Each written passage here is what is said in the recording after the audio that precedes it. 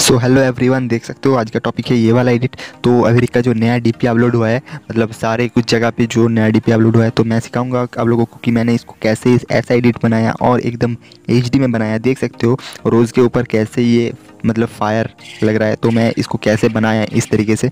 तो आप लोगों को मैं दिखाऊँगा आज, यही सिखाने वाला हूँ कि ब्लैक एंड वाइट तो पहले देखते हैं, पहले जो इसको रियल पिक्चर थे, उसको मैं लिया तो गाइज़ देख सकते हो, ये है वो रियल पिक्चर तो जिसको मैंने वैसा बनाया था तो यहाँ पर जो यहाँ पर बैकग्राउंड में जो शेडो है, इसको कैसे हटाया था और उसको मैंने कैसे कट आउट किया था तो मैं वो वही आज सिखाने वाला हूँ। तो वीडियो को एंड तक देखो, तब पता चलेगा मैंने इसको कैसे इतने अच्छे तरीके से एडिट किया।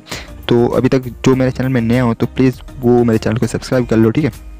तो यहाँ पर ऐसे ही रोज़ नए नए ट्रिक्स मैं लेकर आता हूँ। तो अभी देखो मैं इसको कैसे एडिट करता हूँ। तो अभी सिंपली हम क्या करेंगे, इसको स्नैपसीड एप्लीकेशन में ले जाएँगे। आप स्नैपसीड नहीं तो पिक्सार्ट से भी इसको कर सकते हो तो मैं स्नैपसीड यूज़ कर रहा हूँ क्योंकि मुझे स्नैपसीड अच्छा लग रहा है, इसलिए मैं स्नैपसीड यूज़ कर रहा हूँ। उसका कोई मसला नहीं है, आप लोगों को जो मतलब पसंद है आप लोग वही से करना। तो देख सकते हो मैं सिंपली इसको ब्लैक एंड वाइट जो है, एक ब्लैक एंड वाइट सेलेक्ट कर लिया सिंपली तो मैं इसको सिलेक्ट कर लिया। अभी क्या करूँगा मैं?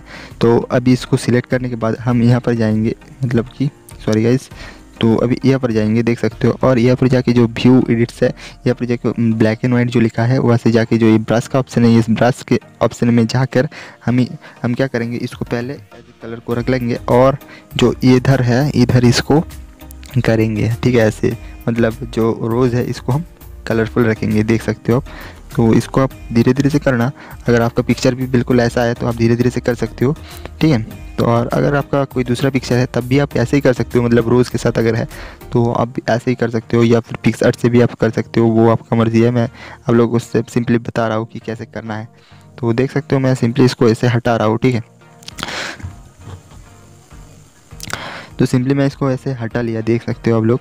तो अभी क्या करेंगे यहाँ पर जो एरिया कवर नहीं हुआ, उसको मैं थोड़ा सा कवर कर लेता हूँ, देख सकते हो। तो अभी देखो तो मेरा यह से हो गया कम अभी। अभी क्या करेंगे हम? इसको सेव करेंगे और हम क्या करेंगे? इसको सेव करने के बाद देख सकते हो यस इतना कम हो गया। अभी मैं इसको सेव कर लेता हूँ और क्या करेंगे? सेव करने के बाद हम इसको कटआउट आप लोग शायद जानते हो कि कैसे कटआउट करते हैं तो मैं वो और नहीं दिखा रहा हूँ कि कटआउट कैसे करते हैं। तो गाइज़ मैं आप लोगों को कटआउट नहीं दिखा रहा हूँ कि क्या कटआउट कैसे करते हैं, ठीक है? तो कटआउट दिखाऊँगा तो बहुत वीडियो जा, बहुत ज़्यादा लंबा हो जाएगा इसलिए मैं कटआउट नहीं दिखा रहा हूँ सिंपली मैं दिखा रहा हूँ कि इसको मैंने कैसे मतलब इसके बाद इसको कटआउट कर लिया मैंने अच्छे से देख सकते हो। बहुत ही अच्छी तरीके से मैंने इसको कटआउट निकाल लिया इसका तो देख सकते हो। ठीक है तो अभी करूँगा मैं इसको पीछे जो बैकग्राउंड था उसको कैसे लगाया और कैसे इसको एडिट किया अभी वो तो गाइस जैसे कि आप देख सकते हो मैंने अपना पेज टच एप्लीकेशन ओपन किया और जो इरेजिंग वाला बैकग्राउंड था उसको मैंने लेकर आ गया यहाँ पर। तो आप लोग अगर मतलब बैकग्राउंड इरेज करना नहीं जानते हो तो वीडियो का लिंक डिस्क्रिप्शन में है आप वहाँ से जाके सीख सकते हो ठीक है? और इसको कटआउट करने के बाद हम इसको आप चाहे तो पी टच एप्लीकेशन में भी ला सकते हो या फिर आप चाहे तो इसको कई और भी, भी मतलब पिक सकते तो देखो मैंने ऐसे आकर एक एक, एक एम लेयर ले लिया। अभी क्या करेंगे हम इसमें कलर फिल करेंगे। तो कौन सा कलर फिल करेंगे? इसका बॉडी का जो कलर है हम उसको यहाँ पर फिल करेंगे। तो देख सकते हो सिंपली मैं यहाँ पर जाता हूँ। और यहाँ से मैं जाकर वो कलर सिलेक्ट करता हूँ। तो पहले इसको ऑब्वियसली को कम कर लेता हूँ। और अभी राइट करता हूँ, फिर कलर को चूज़ करता हूँ तो देख सकते हो आप। तो मैं इसको कलर को, इसका बॉडी से चूज़ कर रहा हूँ तो ऐसा ही कलर आएगा। तो क्या करेंगे, इसको ऑपोजिटी को मुझे बढ़ाना था सॉरी गाइज़ तो मैं वो भूल गया। तो देख सकते हो मैंने इसको ऑपोजिटी को बढ़ा लिया, देख सकते हो ये वाला कलर टोन आ गया मतलब बॉडी से कलर टोन को मैंने यहाँ पर ले लिया। तो अभी क्या करेंगे सिंपली हम इसके नीचे इसको लेकर आएँगे, ठीक है? देख सकते हो सिंपली इसको मैं इसके नीचे लेकर आ गया। तो अभी अब और कुछ ही काम नहीं है हमारा। तो देख सकते हो जस्ट ऐसे ही कर दिया। मतलब ज़्यादा छेड़छाड़ करने की कोई ज़रूरत नहीं आप लोगों को भी, ठीक है? तभी क्या करेंगे? सिंपली हम इसको यहाँ से सेव कर लेंगे। और जाएँगे लाइट रूम एप्लीकेशन पे। और लाइट रूम में होगा असली काम, जहाँ पर होगा रियल कलर टोन ठीक है? तो वीडियो को देखते रहो लास्ट तक। मैं इसको कैसे करता हूँ और अभी काम। तो मैं लाइट रूम में पिक्चर को ओपन कर लिया, देख सकते हो आप लोग। तो लाइट रूम में इसको ज़्यादा कलर की छेड़छाड़ करने की ज़रूरत नहीं, क्योंकि एक ब्लैक एंड वाइट पिक्चर है, इसलिए इसको कलर को ज़्यादा छेड़छाड़ करने की मेरी, मुझे ज़रूरत नहीं। तो सिंपली जितना कलर ज़रूरत है वही बस कर रहा हूँ। आप लोग इसको चाहे तो स्क्रीन भी कर सकते हो। तो देख सकते हो मैं इसको कैसे सिंपली इतनी आसानी से कर रहा हूँ पिक्चर को।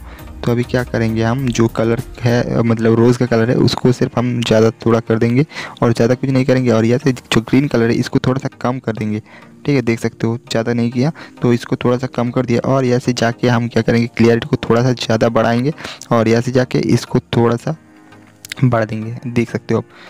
तो अभी जैसे देख सकते हो पिक्चर काफ़ी हद तक सही होगी, जो फायर का पी है, हम उसको लगाएँगे तो उसको लगाने के लिए आप कहीं भी जा सकते हो, आप चाहे तो पी टच एप्लीकेशन में भी जा सकते हो, या पर ऑटोडिक्स में, या फिर पिक्सार्ट में तो मैं जाऊँगा सिंपली अपने ऑटोडिक्स एप्लीकेशन में और वहाँ से लगाऊँगा, अपना पीएनजी तो चलते ऑटोडिक्स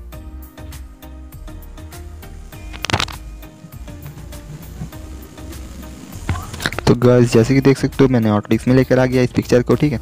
तो अभी क्या करेंगे हम, उस वाले पीएनजी को लगाएँगे, जो मैंने इसको लगाया था पीएनजी तो उसको पीएनजी को ले आते हैं हम। तो देखते हैं, वो वाला पीएनजी मैंने इसको कहाँ रखा था? तो शायद ये पर बहुत सारे पी है, यहाँ पर ही रखा है। तो मैं फायर वाला पीएनजी को सिंपली वहाँ पर लेकर आता हूँ, और देखो मैं कैसे इसको ऐड करता हूँ। तो बहुत ही आसान तरीका है इस एडिट में। मतलब इतना सारा ऐप यूज़ कर रहा हूँ, आप लोग सोच रहे हैं कि भाई ये तो बहुत ही ज़्यादा डिफ़िकल्ट है। कोई बात नहीं भाई, बहुत ही आसान तरीके से ये वाला एडिट मैंने किया। तो हाँ मैंने थोड़ा बहुत ज़्यादा ऐप यूज़ किया। आप एक एक ऐप से भी कर सकते हो। पहले ही इसको मतलब ये वाला पी को ऐड कर सकते हो तो तो मैंने इसको पहले ऐड नहीं किया क्योंकि पहले ऐड कर देता। तो इसका जो ग्लो है मतलब कलर के पहले जो ये जो ग्लोइंग है ना, देख सकते हो, आग का जो ग्लोइंग है, वो नहीं मिलता हमें। तो इसलिए मैंने इसको बाद में किया, ठीक है, सबसे लास्ट में। तो सिंपली आप लोग देख सकते हो, बहुत ही गज़ब लग रहा है पिक्चर एकदम।